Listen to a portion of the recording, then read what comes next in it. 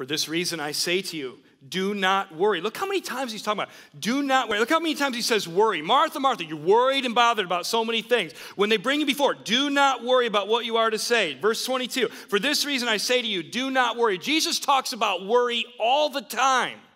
You know what he never one time says? Except for this. You need to be really worried about that.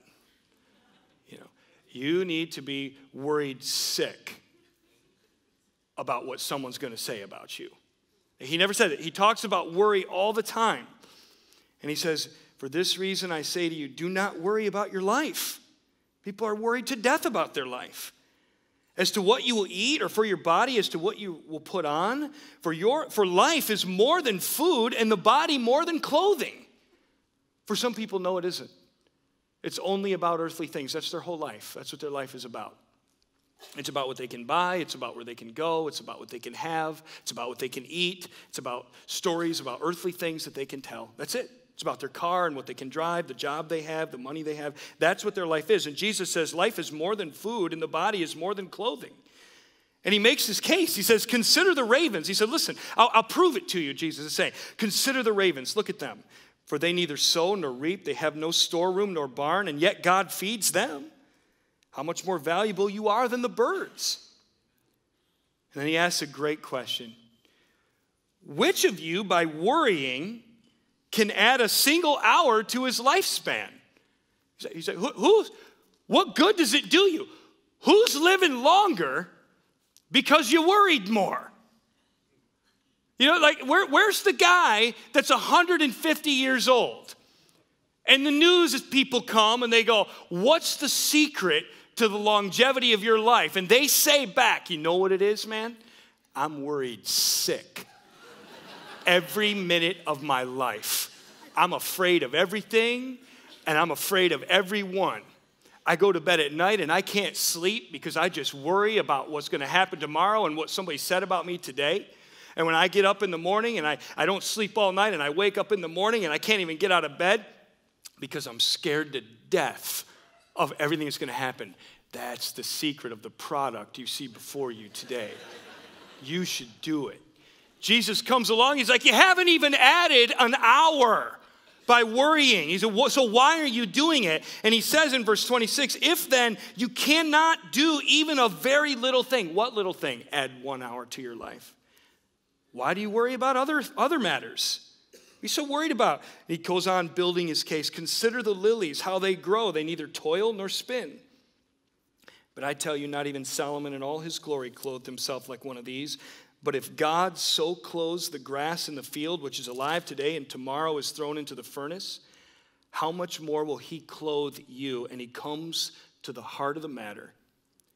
You men of little faith. That's what he said to Peter. You have little faith. Why did you doubt me, Peter? You were walking on the water, man. You were looking right at me. Where, where'd you go? What are you looking at over there? You're looking at the wind? You're looking at the waves? You're looking at so many things? You men of little faith. Let me say this to you. I, I want to say it in the right heart. Uh, people, people don't seem to like hearing it, but it's true. Fear and faith cannot share the same space in your heart however much you're worried, however much you are afraid, is directly proportional to how much faith you don't have. When we are, I'm talking everything. You're laying on your deathbed, worried. The Bible says Jesus takes away even the sting of death and comes about the saying, Thanks be to God who gives us the victory in our Lord Jesus Christ. Like, whatever we're worried about, we don't believe God has it. We don't believe God sees it. We don't believe God cares about us in that matter. So we take it for ourselves and we worry ourselves sick. For a minute there, Jesus had Peter on the water and Peter believed it and he walked on the water and Jesus had him. And then he looked at the wind and the waves and must have thought something along the lines of, Whoa, I can't do this. And he started to sink because you're right, you can't do it. Whatever you're worried about, you don't believe God has it. Verse 29. And do not seek what you will eat and what you will drink, and do not keep worrying. So maybe today you have permission from Jesus, just stop it. Stop. Just lay it at his feet and stop it. How exhausting is it? How tired are you?